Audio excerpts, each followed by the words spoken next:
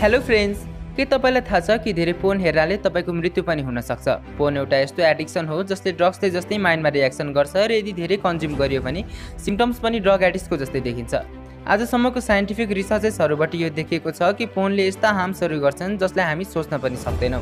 तपाईँको बडीमा सिमन बन्न सिक्सटी फोर डेज लाग्छ। तपाईँले खानुभएको खाना तपाईँको बडीमा पुगेपछि बोन म्यारो फ्लेस र रगत हुँदै सिमन बन्न लगभग सिक्सटी फोर डेजको टाइम लाग्छ। र यसमा यति धेरै एनर्जी हुन्छ कि यसले एक नयाँ जीवन बनाइदिन सक्छ र यदि यसलाई कन्जर्भ गरेर राख्ने हो भने यसले एक सामान्य या मूर्खभन्दा मूर्ख मानिसलाई पनि जिनेस बनाइदिन सक्छ। तर यहाँ प्रब्लम यो छ कि हामी बिना सोचेर नै पोर्नोग्राफीको कारणले सिमनको नाश गरिदिने गर्छौँ। कोही कोही मानिसहरूलाई त पोर्नोग्राफीको यति धेरै लत हुन्छ कि उनीहरूलाई यसलाई नहेरी निन्द्रा नै नलाग्ने अवस्था पनि आउँछ।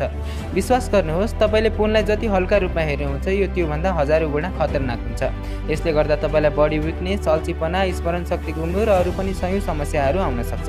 त्यसैले आज हामी तपाईँलाई पोर्नोग्राफीबाट बस्न र यसलाई कम गर्नका लागि अथर म्याथ फ्रेडको बुक द पोन मिथबाट समरी र लेसन्सहरू दिनेछौँ जसले तपाईँलाई पोर्नोग्राफीको सच्चाइ बताए यसलाई छुट्याउन हेल्प गर्नेछ। Porn affects willpower. फोनलाई बेसिकली एडल्ट इन्टरटेनमेन्टको रूपमा लिन्छ र बालबच्चाहरूलाई हेर्न मनाइ गरिन्छ। तर अथर भन्नुहुन्छ कि फोनलाई एडल्ट होस् या बालबालिका कसैले पनि हेर्नु हुँदैन।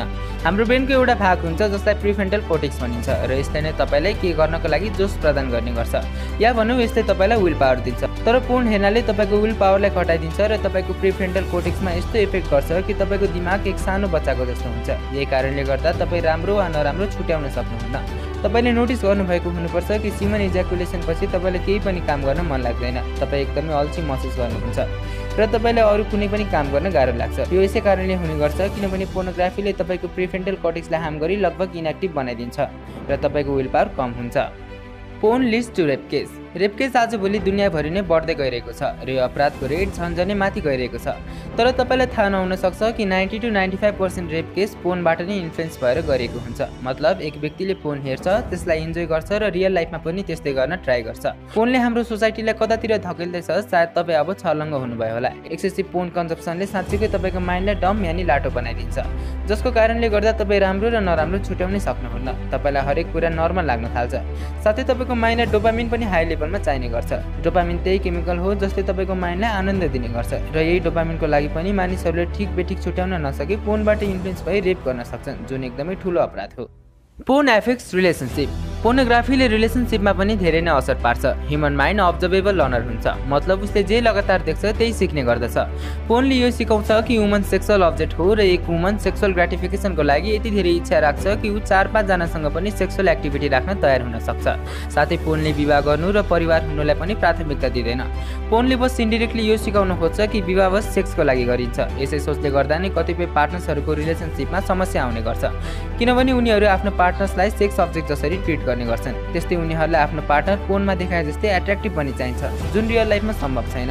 त्यसै कारणले गर्दा पार्टनर्सहरूको रिलेसनसिपमा फोनले समस्या खडा गरिदिन्छ र यो समस्या डिभोर्ससम्म पनि पुग्ने अवस्थामा आउँछ। Porn is just the fantasy तपाईँले फोनमा जे पनि देख्नुहुन्छ त्यो मात्र एउटा कल्पना हो जसलाई fittest phone models high editing high resolution camera र एट्र्याक्टिभ ड्रेसेस लगाएर खिचिएको हुन्छ।